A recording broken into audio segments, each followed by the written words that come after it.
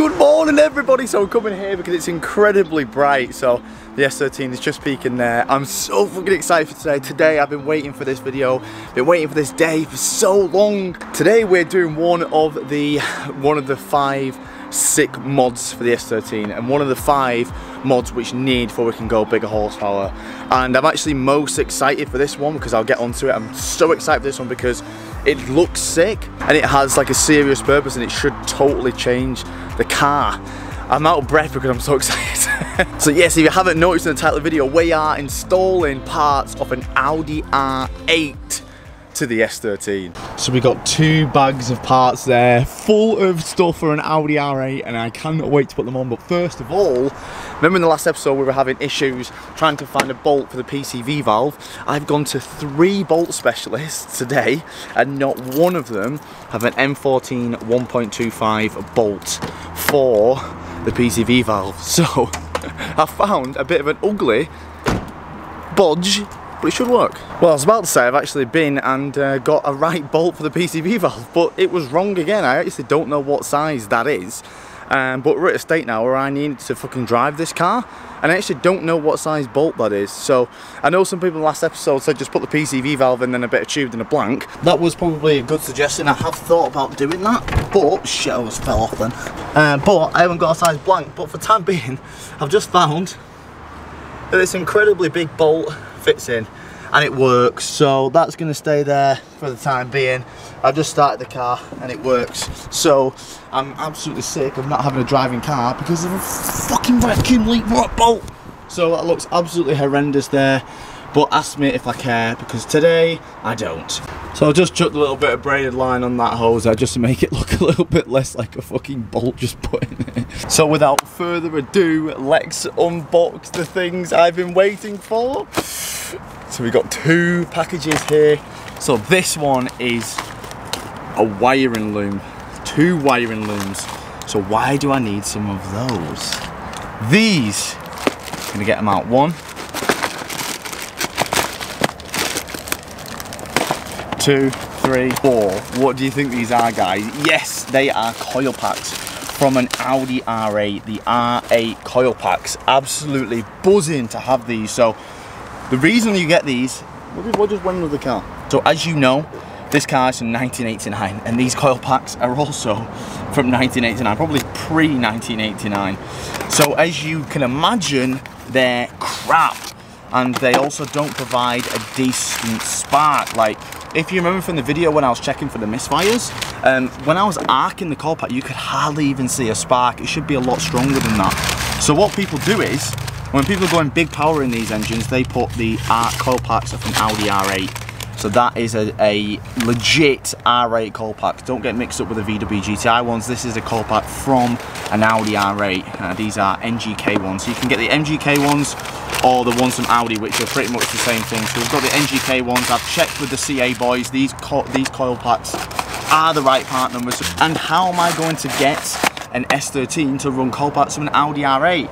There's a company called Boss Wiring and they're on Instagram and they make personalized looms for anything, absolutely anything. Um, so here I've got a personalized loom, so that's the SR, that's the S13 CA18 one, and then it goes to four Audi R8 uh, coil pack um, plugs. Uh, and look at it, it's nicely heat ring, it's nicely heat shrinked, look at it, it looks beautiful, we've got the ground there, and we also have an igniter bypass, so do you remember when we was fitting the engine and we thought it was the igniter that was causing the engine not to start. You have so many igniter problems with these cars, like they're so brittle, if you go over a big bump, they break and then the car won't start. This is an igniter bypasser. It bypasses the igniter and the coil packs are strong enough to just go straight coil on plug. So I'm very excited to install these.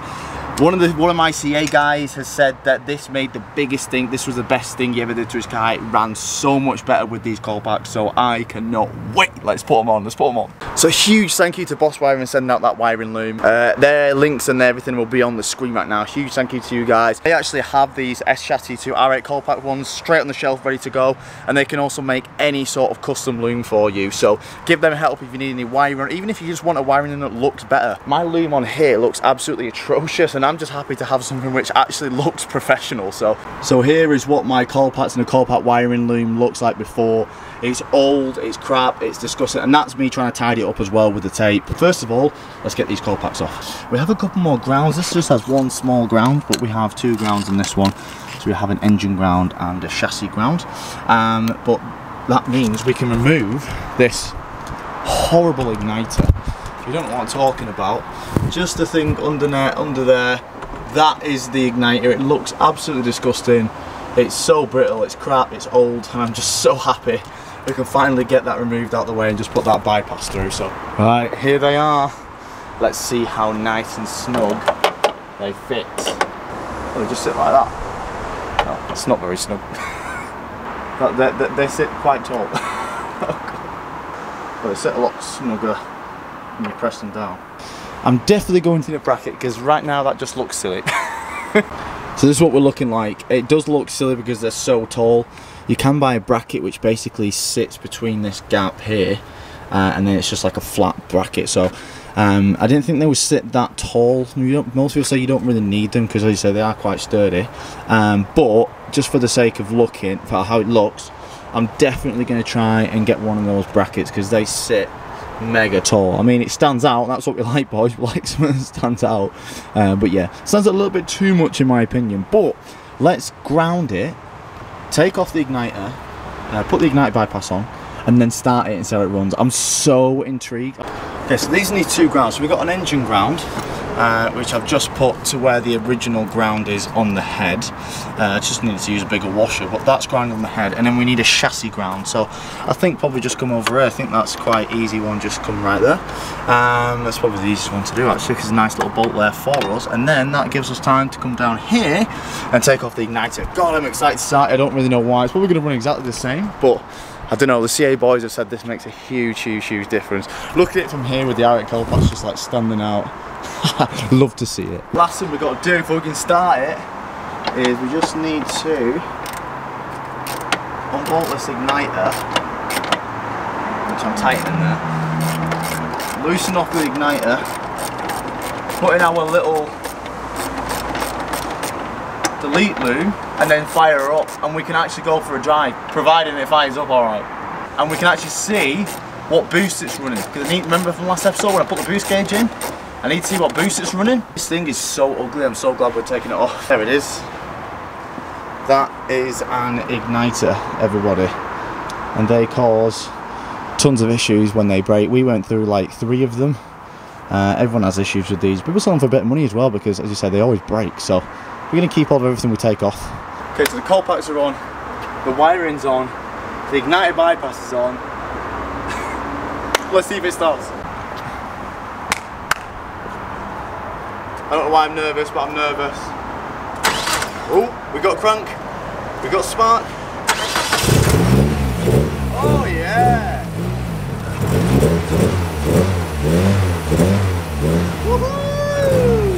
Can't fully tell just yet, not gonna lie. Um, it feels like it cranks stronger. feels like it's ticking a bit stronger as well, but I don't know, it might just be a bit of a placebo effect. Um, I'm, I do not know about you guys, but I'm buzzing my tits off to go for a drive. Not been for a drive in this for like two weeks. Buzzing my tits off. Let me just make sure everything's right. I need to cable tie the wires because the igniter isn't bolted down now. It's like pushing towards the manifold. So let's cable tie that back. Cable ties. And we'll go for a spin. Okay, here we go. This is the uh, the first run, the first run with uh, a fair few mods to be fair. So we have the the new rear calipers which I've rebuilt, so I need to make sure that they're alright. Bled alright, not sticking, etc. I've not shut the boot to my Audi, great.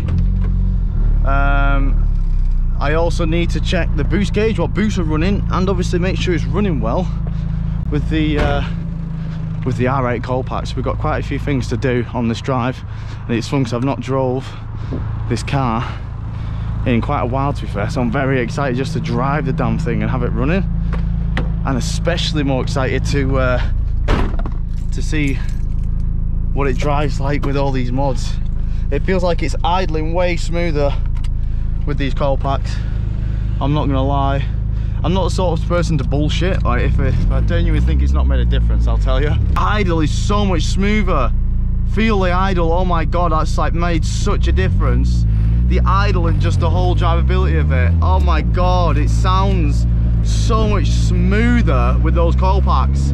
Like before, it was always like chasing the rev kind of, eh, eh, eh, but now it's just, uh, it sounds so healthy. It's made such a difference. I do think I need a better boost gauge. This boost gauge is, doesn't seem that accurate to be fair. So 10 PSI is around 0.7 bar, just under. So if we go over 0.7, we know we're over boosting. I don't think we will be, but it's just nice to know. We'll put our foot down in a second and uh,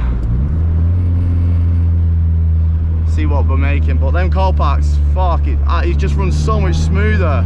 So we'll try and give it a run here if we can on this.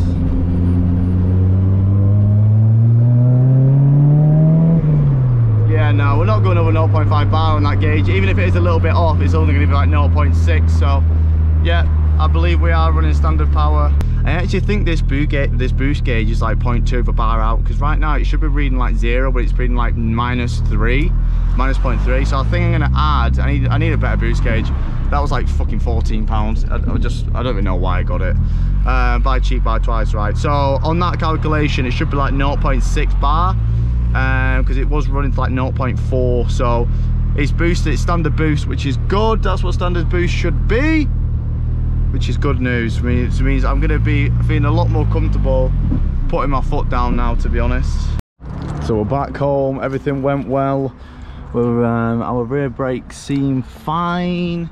Um, we have got one little problem which was I felt something smelling so I come under the bonnet. It's this this bit here. So you see how that's touching the manifold that bit of rubber there the new silicon hose for the heater matrix it's longer out than the other one so I either need to cut it and push it forward or for the time being I've just been pulling it it's a bit hot so I've just been pulling it and then cable tying it around the other one. There is someone did put a bit of rubber around it to obviously to you know to absorb the heat but that keeps smoking and it keeps smelling so we need to before we go out tonight just make make sure we just pull that hose over here a little bit and cable tie it over there. Have done that before but I've obviously cut the cable tie off to take something out. But yeah that's getting pretty hot in there. The whole engine bay does get hot. Um I've thought about venting the bonnet but with all the old wire in there it's probably just going to cause more issues than it solves. So uh, I'm going to let the car cool down. I've got to go in and edit a video which is probably the last video you've seen about the Audi being fucked. But drives great. I can't wait to uh, drive it. We're actually going to we're going to a classic car meet tonight. There's actually a pub around the corner for me and they're doing classic car nights every wednesday at six uh, called the dick turpin. Um, and it's 27 degrees today so I, I imagine it's going to be busy. So we're going to take it there tonight. So i'm going to let the car cool down sort that thing go inside edit a video. We're going to go and clean the car once it cools down a little bit as well. Hopefully it does. Uh, and then go to this meet later so i'll take you along for that. So for now i'll catch you in a little bit so we just went to that meet and uh, I was sat there and was like, oh, if another S13 comes, it's gonna be sick. And then my mate just rocked in. Woohoo! There he is! We're on there, we're on a, oh, that's fine. Yeah, there he is! Woohoo! So we both just did simultaneous sends out the show, which was fucking awesome! when we got, everyone was like, two S13s, oh my god, everyone started filming. Hey! Mate, you didn't even look! I want some more power, yours sounds sick! What power's yours? 300? 340? I can't wait!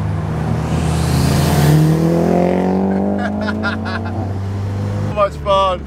I didn't film much of the meet, sorry everyone. Um, we waited an hour and a half for food, so we were just sat there waiting for fucking food. Um, but that was cool leaving. I'm pretty sure we made some people's nights as well because everyone was just being boring.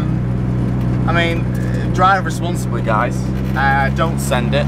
Drive responsibly, but don't be scared.